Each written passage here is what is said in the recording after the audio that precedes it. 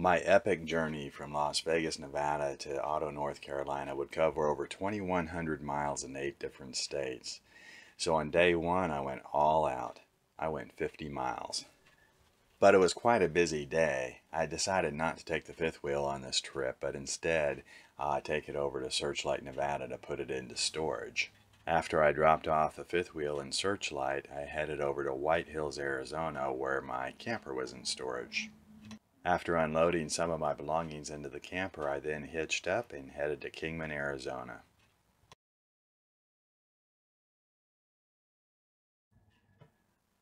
So while I did get up early and make reasonably good time, I didn't exactly beat the heat by the time I got to Kingman. It was already over 100 degrees.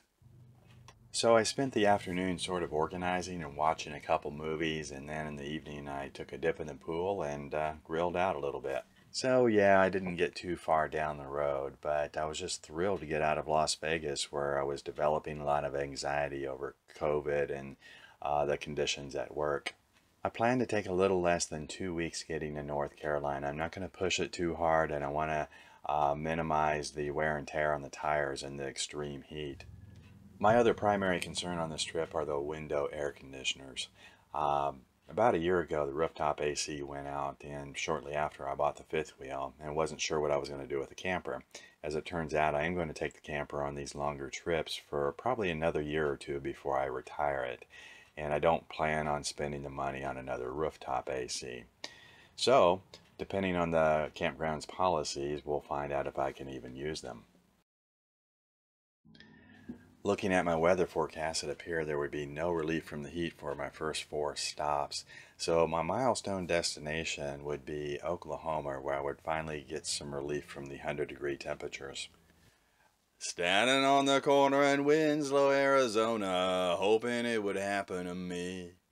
If a girl, my lord, in a flatbed Ford would just slow down and take a look at me. It ain't that easy. It ain't that easy. So I went and got a grilled cheese instead. Hey, I'm not a quitter, but it's over 100 degrees outside. No way. Well, after a very satisfying meal, it was time to do some more sightseeing, and my waitress recommended La Posada Hotel. Now, I had never heard of these Harvey houses, but apparently Fred Harvey built a very successful chain of uh, luxury hotels and restaurants on railroads. In fact, John Wayne was a regular guest here as well as many other celebrities like Clark Gable, Mae West, Amelia Earhart, and Jimmy Stewart.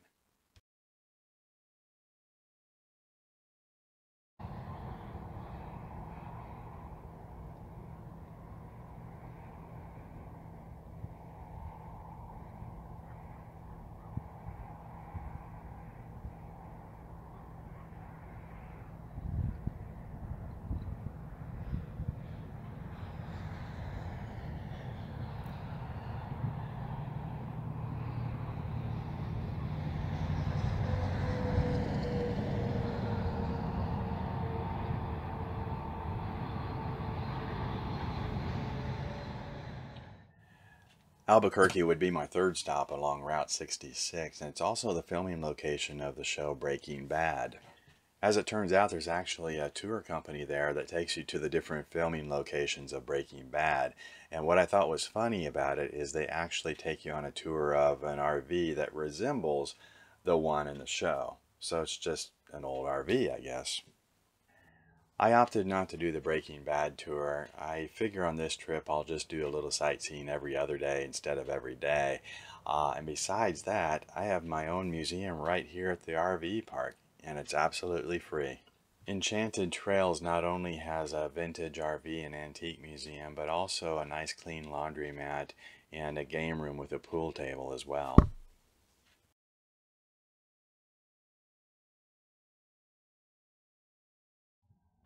My original plan in Amarillo, Texas was to stay at the Big Texan RV Park where they reportedly pick you up in limousines to take you to the Big Texan Steak Ranch. But as it turns out, there was heavy construction in that area, so I went to AOK RV Park instead. And, well, it's a-okay. There's zero amenities here. There's no office. It's just uh, self check-in and no restrooms. In fact, you're now looking at the feature attraction of the park. Welcome to the Big Texan Steak Ranch. Not only is this a massive, massive restaurant, it also has a hotel, a horse motel, and an RV park. With several dining rooms, this is probably the biggest restaurant I've ever seen in my life. And if you can eat a 72 ounce steak here, it's on the house. And people actually do it. A young lady named Molly Schuyler a few years ago actually ate three of these 72 ounce steaks in less than 20 minutes.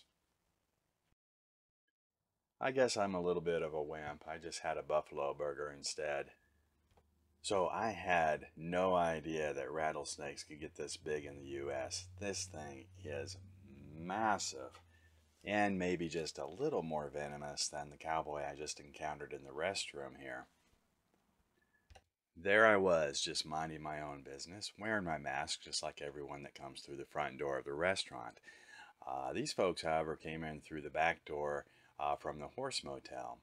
And the little boy turned to his cowboy dad and said, Daddy, why are all these people wearing masks? And the cowboy replied, I don't know, son. They ain't got nothing to do with me. Welcome to the divided states of America, where safety precautions are now a conspiracy.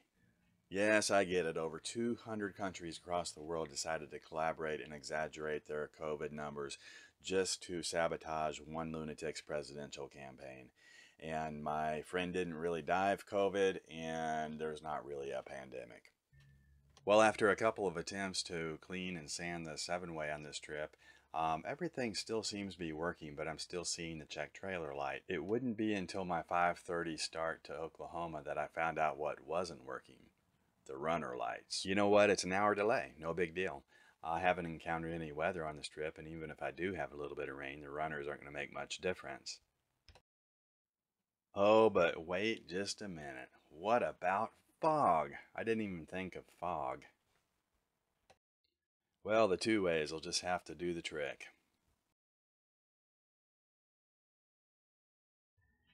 I finally made it to Checotah, Oklahoma. Cooler temperatures and rain. I'm loving it.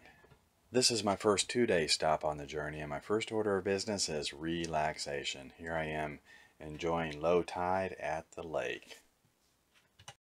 Okay, so I'm not very good at charcoal grilling, but somebody did leave me nearly an entire bag, so I decided to go ahead and use it. And I'll tell you what, it doesn't look great. I butchered it, I get it, but tasted wonderful. So here's what I found very unique about Terra Starr RV Park. You have this large section where there's these residents and they have these large pads, these beautiful decks and um, uh, awnings and ceiling fans, just gorgeous uh, spaces. Uh, turns out they're they're rather pricey. It's some sort of timeshare rental deal. I don't completely get, but I quickly determined it was out of my price range. I am sort of um, looking for possibilities for my fifth wheel, however, uh, because I've determined that I, it's too much uh, rig to tow. First things first, it's time to get this show on the road again, and I had to do the repair on the seven way, which turns out it's a good thing I did because uh, the brakes were also not working. No, I'm not in the desert anymore. I'm in the Ozark Mountains and I'm loving it. Uh, and rather than drive straight through to Tennessee, I decided to make it a short trip today and stop at a place called Hillbilly Haven.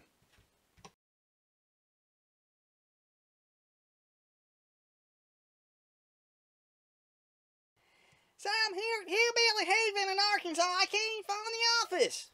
So I walk in this hair shack thinking I might find somebody, but it's just a laundromat with a bunch of graffiti on it. What the hell's the matter with people? This is destruction of property and I can't stand it. I so disgusted I just walked right back out and some fella rode up to me on the tractor and said, Can I help you? And I said, Yeah, I'm just looking for the office. He said, You're looking at it. One of them mobile offices, I reckon. Well, this feller just told me to pick me out a spot and then just drop a check at the mailbox at the laundromat here. And so I did. And after a little nap, I went for a walk around the campground, and the same fella came riding up to me on the tractor. He said, well, Would you like some jerky? Hey, oh, yeah, I'd like some jerky. And then he said, Well, you be sure to go write your name on that wall in the laundromat, would you? And that is how I got some free advertising for the Hillbilly River Cat.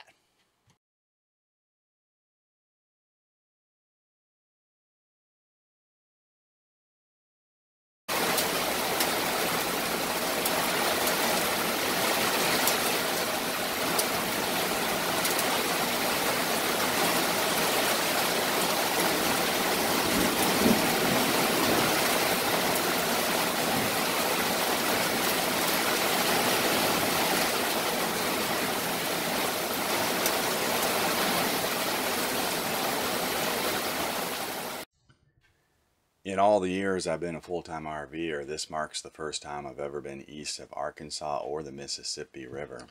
My Garmin rarely ever gets me lost, but on this occasion, as soon as I got close to my destination, it took me on the back roads of Mississippi.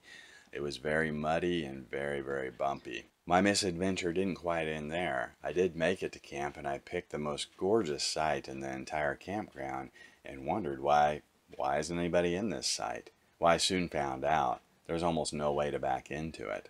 Not wanting to scrape my black tank, I decided to move elsewhere and watch somebody else try it instead. I felt a little bit better when he also couldn't back into it. The fun didn't end there either. The rains came, they came hard, and I soon found out that I had a leak around the air conditioner unit. But wait, I'm still not finished. I had to buy new tires, and a very pricey pair of tires they were, being in small town Tennessee. And what do I do as soon as I buy them? I get them muddied up because that's what I do.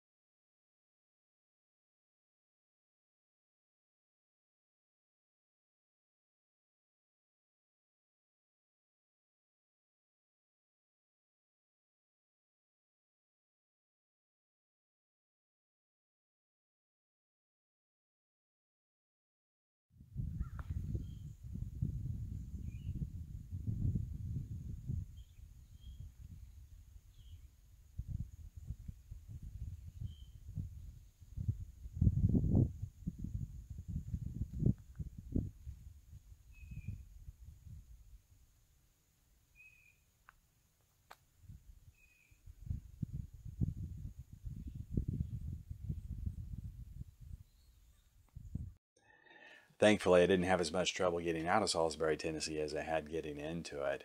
It was a pretty easy drive to Arley, Alabama.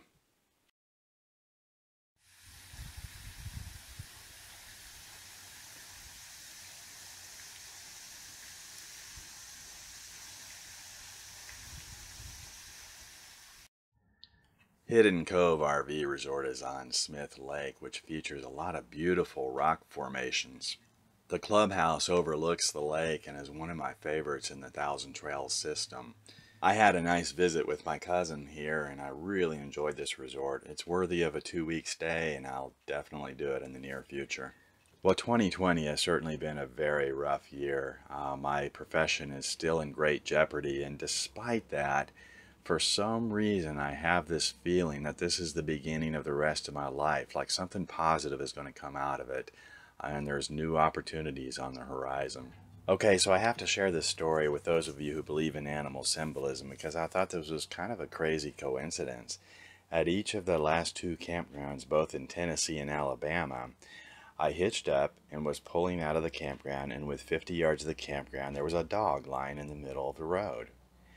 Both times I had to come to a complete stop the dog stretched its legs, got up, and trotted away. Merely a coincidence, or is it a sign? Is it a coincidence that the town I'm getting ready to camp in is spelled the same backwards as it is forward? Otto. Otto.